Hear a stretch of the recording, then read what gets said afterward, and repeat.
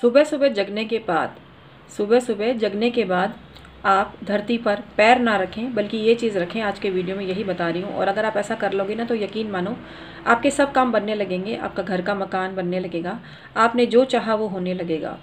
आइए जानते हैं वो चीज़ कौन सी है। मित्रों, ये तो सहज सी प्रक्रिया है कि हम जब सुबह उठते हैं तो पैर धरती पर ही रखेंगे। इसके अलावा कोई और विकल्प नहीं है।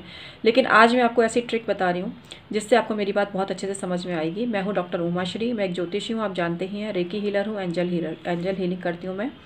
आप मुझसे संपर्क कर सकते हैं, अपनी कुंडली का परामर्श ले सकते हैं। तो आइए आज का वीडियो शुरू करते हैं। मित्रों सुबह सुबह जब आप जगते हो सुबह सुबह जब आप जगते हो और जब आप पैर रख देते हो धरती पर तो आपने एक चीज़ सोची कभी?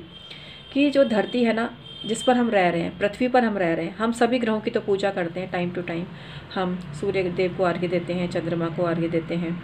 विभिन्न ग्रहों की विभिन्न तरीके से पूजा करते हैं, नवग्रहों की पूजा करते हैं, दान जाप करते हैं। लेकिन पृथ्वी माता का क्या? पृथ्वी माता को तो दिनों दिन गंदा कर रहे हैं आप, पर्यावरण प्रदूषित कर रहे हैं, नदियाँ गंदी कर रहे हैं, वृक्षों वृक्षों की कटाई कर रहे हैं।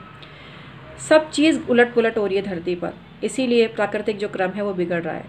तो इसलिए हमारी जो फीलिंग्स हैं, हमारी भावनाएँ हैं, हमारा जो नमस्ते है, हमारा नमस्कार है और जो हमारा भारतीय प्रणाम है, उसमें बहुत बड़ी ताकत है और इसको आप आजमा के देखना। आप जिस धरती पर रह रहे हो, जिस पृथ्वी पर आप रह रहे हो, उसके बारे में आपने क्या सोचा है? पहली चीज़ तो हर तरह के प्रदूषण से बचाइए, वृक्षारोपण को बढ़ावा दीजिए। इसके साथ साथ सुबह सुबह का जो मेन आज का वीडियो बनाया है मैंने, उसमें आपको क्या करना है? सुबह सुबह आप पैर रखते हो उसकी जगह एक छोटा सा प्रयास चालू कर दीजिए। वो है कि हाथ से धरती को छूकर अपने माथे पर लगाना।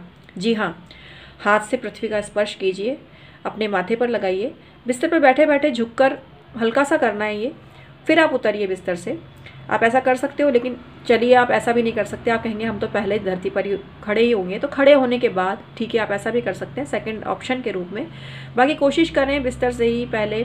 आप अगर नहीं भी टच करना चाहते, अपनी इमेजिनेशन में प्रणाम कर दीजिए कि, हे धरती माता, मैं आपको प्रणाम करता हूँ या प्रणाम करती हूँ। इतना सा बोल कर भी आप उतर सकते हैं। बाकी आप स्पर्श करें, जैसे कि धरती है, धरती फर्श के स्पर्श करके अपने माथे पर लगाएँ।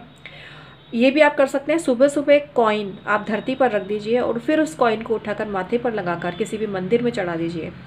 और पृथ्वी माता की जयकारा लगाते हुए अगर आप कोई भी काम करते हैं तो आपका जीवन सफल होता है, आपके बिगड़े काम बनेंगे, एक मिनट में भी आपके अंदर चमत्कार पैदा होने लगेगा।